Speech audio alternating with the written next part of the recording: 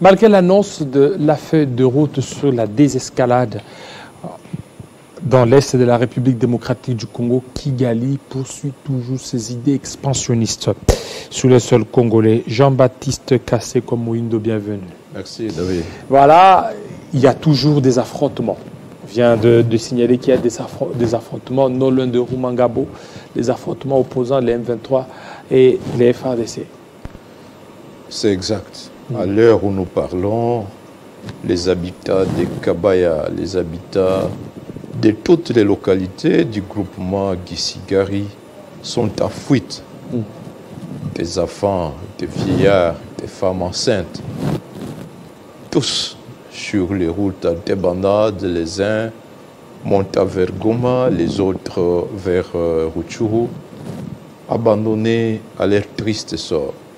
C'est dire que la tripartite de Luanda n'était qu'une messe d'hypocrites. Mais c'est hypocrite. Une messe d'hypocrites. Mais le M23 a demandé à ce que s'il faut négocier, c'est négocier avec eux et pas avec Kigali. Mais que va-t-on négocier? La fameuse feuille de route euh, signée à Nairobi, je l'ai entre mes mains, non, à, à Luanda, stipule parmi les activités que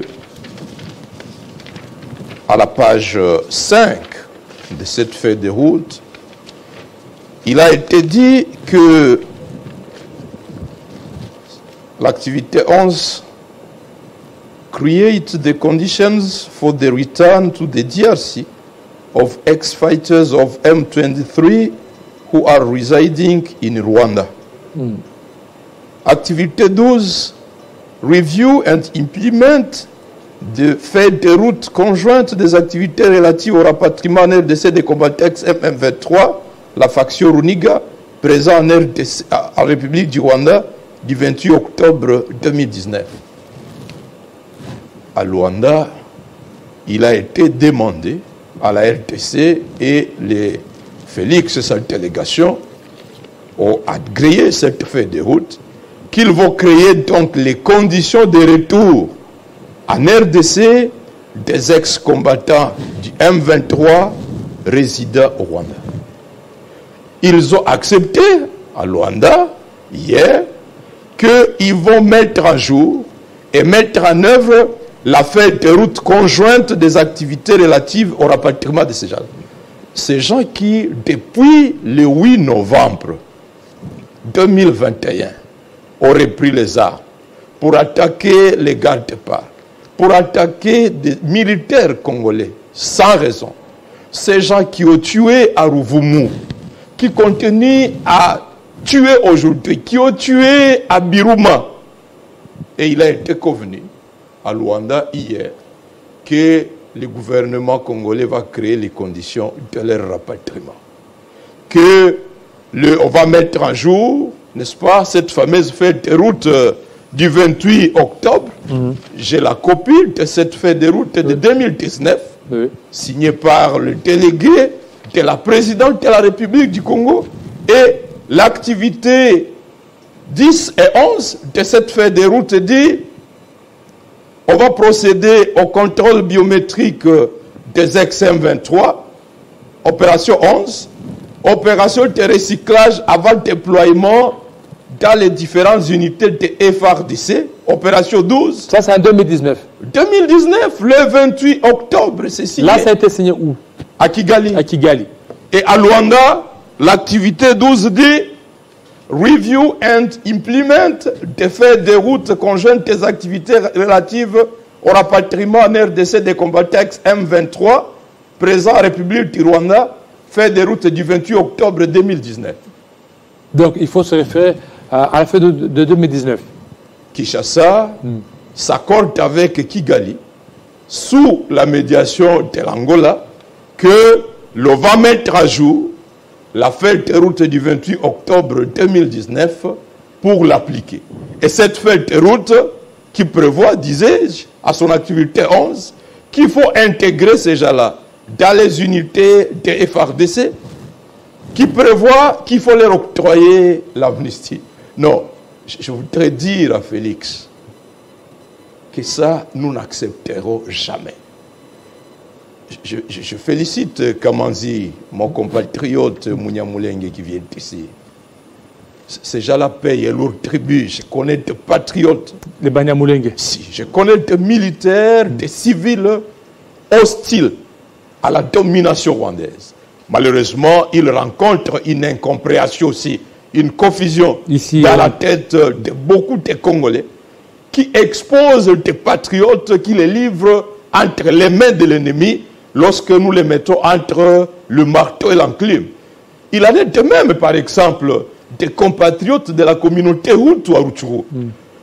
N'eût été la résistance de la communauté Hutu, de Rutshuru, de Niragongo aujourd'hui, en collaboration avec toutes les communautés qui sont là, les Nande, les Hunde, les Kumu, les Chi et toutes les autres. Et la communauté Hutu qui a fait une déclaration pour dire que personne ne prétende vouloir venir faire la guerre en RTC sous prétexte de venir défendre une communauté par là, le Kinyarwanda. Ni telle résistance, je ne sais pas si aujourd'hui le Rwanda serait tenu en échec tel que nous sommes en train de le faire. Malheureusement, nous tombons dans le piège de l'ennemi, nous faisons l'amalgame. Alors, je disais que Félix devrait savoir que nous, les populations du Sud Kivu, du Nord Kivu, ayant souffert de toutes les guerres du M23, non seulement nous du Kivu, les populations de Kisangani, de Lituri, nous n'allons pas permettre que cette fameuse feuille de route de Luanda soit appliquée sur nous. Kabila en a l'expérience. Je suivais une, de ses interviews, l'interview du 1er décembre 2013, après la défaite du M23. Il disait, tulifanya makosa kwa 2009, tulifanya makosa kwa 2006, kwa 2012, tukasema ile makosa hatutairudiri. Pourquoi Félix veut nous ramener à l'expérience de 2006 nous, Pour ceux qui ne comprennent pas le, le, le Swahili, donc nous avons commis des erreurs en Il 2000. disait, à 2006, Nous avons on a signé le mixage. Oui. À 2009, on les a intégrés. Et il disait, nous avons dit à 2013, nous ne retombons plus dans les mêmes erreurs. Il fallait les battre, les vaincre militairement. Et aujourd'hui, on va à Luanda, on dit, on revient pour mettre en application la feuille de route que les Congolais ont dénoncée, ont rejetée En 2019. à 2019 qu'on va intégrer ces gens-ci, nous avons les documents que la direction générale de l'ANER a envoyés aux représentants des Nations Unies en RTC, lui transmettant la liste des 73 officiers CNTP non admissibles à l'intégration dans nos forces de défense, parce que, comme le disait Kamanzi, il a été identifié qu'ils sont des militaires rwandais. Et Et ils travaillent pour le Rwanda. c'est parmi eux que vous avez les dirigeants actuels du M23. Et on dit, dans l'affaire des routes euh, de Luanda, celle d'hier, qu'il faut relancer le processus de Nairobi, c'est-à-dire le dialogue. Et la RTC est tenue de créer les conditions de ce dialogue. Mais pourquoi? Donc dialoguer avec l'M23. dialoguer avec les M23. Mais pourquoi Félix, lui, n'a pas demandé à Kagame de dialoguer avec les FTL On demande au Congo, au Congo de créer les conditions pour le retour de réfugiés congolais basés au Rwanda. Qui sont ces réfugiés? Mais par contre, il est établi que des réfugiés rwandais sont sur le sol congolais depuis 1994.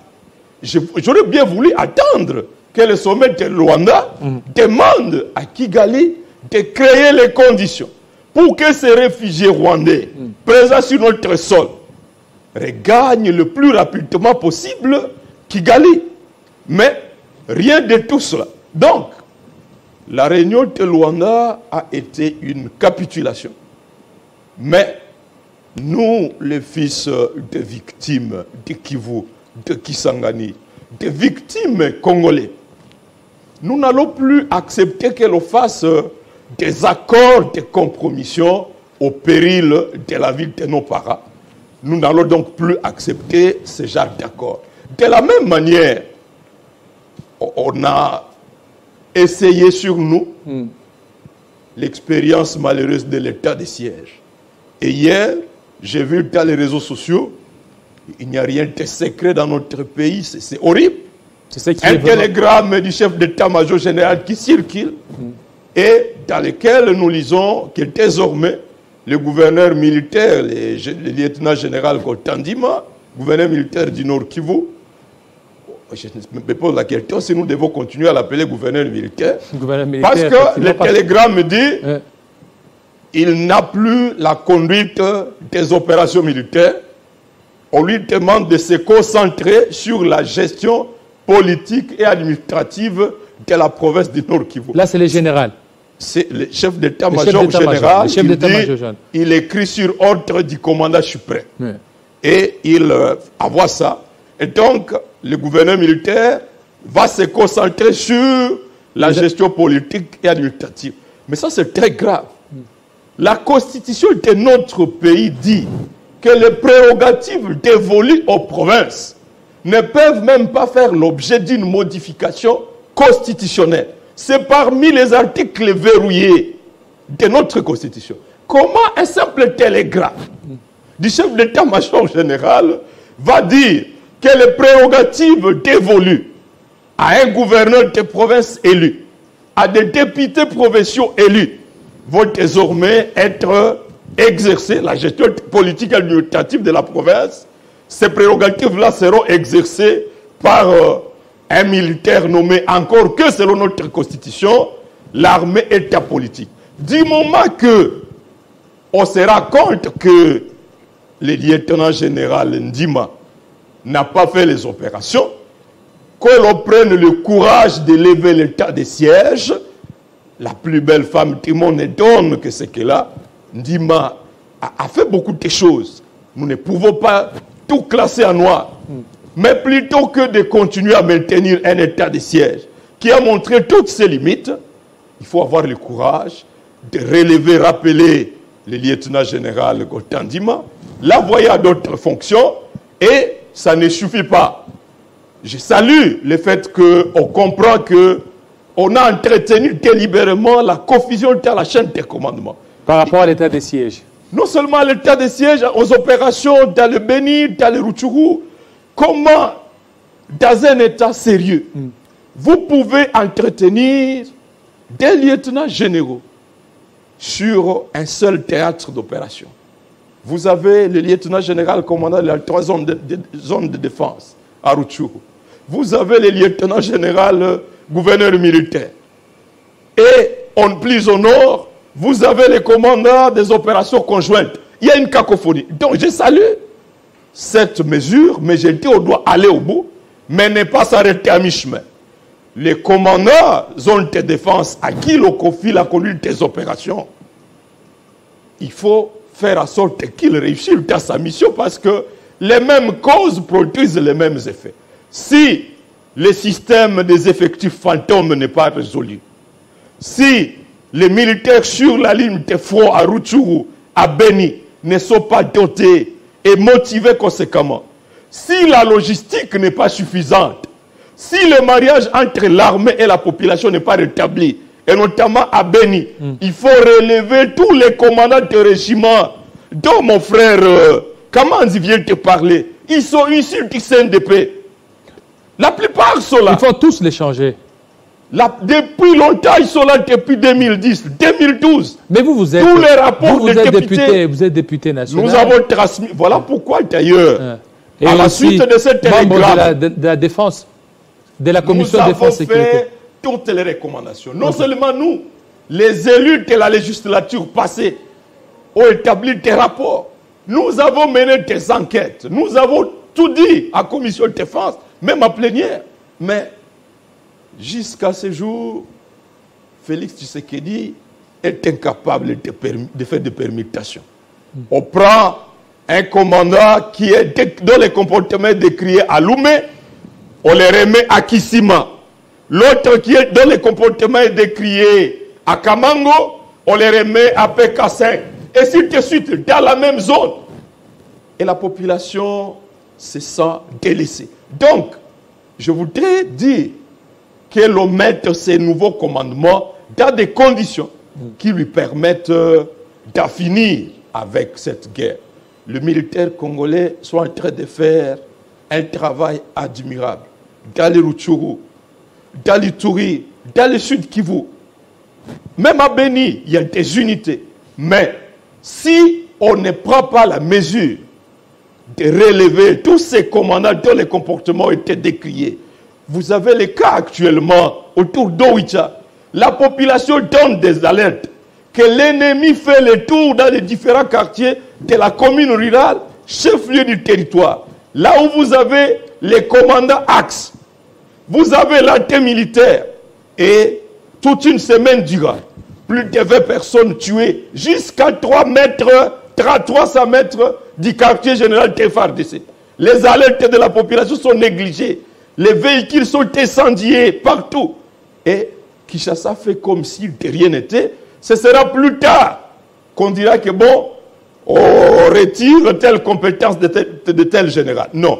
Si l'on met ces nouveaux commandements dans des conditions qu'il faut. eh bien, nous pouvons dresser notre front et gagner cette bataille. Mais je voudrais dire, à la suite de cet échec de l'état de siège, constaté par ce télégramme du chef d'état-major général, le premier ministre Samaloukonde devrait tirer toutes les conséquences et démissionner parce que l'état de siège était la première mesure de son programme de gouvernement.